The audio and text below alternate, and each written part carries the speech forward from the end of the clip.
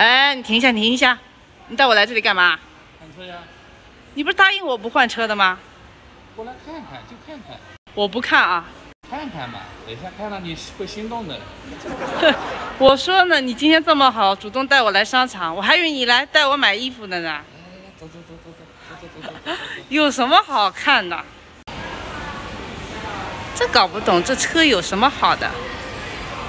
我们先来看看这辆电动车，看起来是挺大气的啊。这什么型号啊 C 六，？EC 六啊？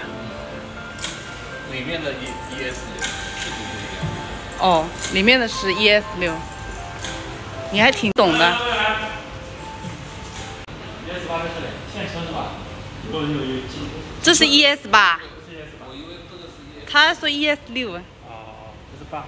，ES 八。我老公现在在看价格，他在了解中。嗨，大家好，我是轩轩。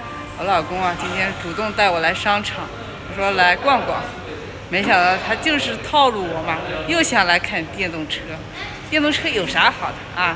我今天就来看看到底哪里好了。那我们就先看看这辆 ES 八，这个门把手是这样的，还挺特别的。看看里面的空间怎么样？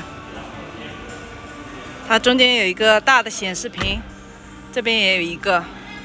你们觉得这样的配置怎么样？我也想坐。那你去坐啊。再给大家看看后座。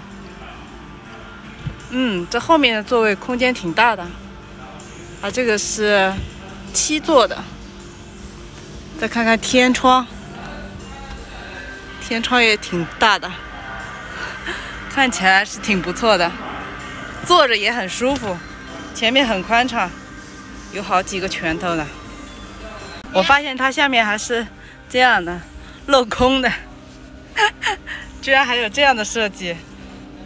现在我们再看看这一辆 EC 六，它这个是有弧度的。我们再进去看看，这个门是这样开的。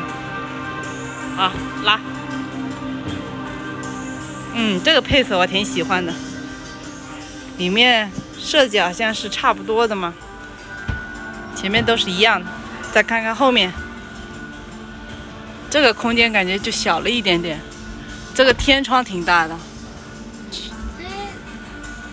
这个天窗特别喜欢啊，大家看看怎么样？我们已经回来了，老公怎么样？看了还想换车吗？不想了，你就是要换，让我换我都不换了。怎么啦？哎呦，怎么说呢？这心情嗯，啊，就像网恋一样，奔现之后那个失落感，哎、至于吗？啊，这么夸张？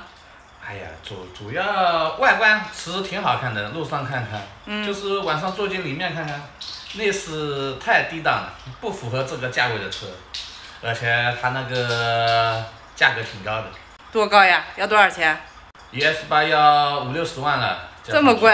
对啊，你说五六十万的车这样的内饰太不好看了，是挺贵的，嗯五六十万的话，你那配置应该很好了。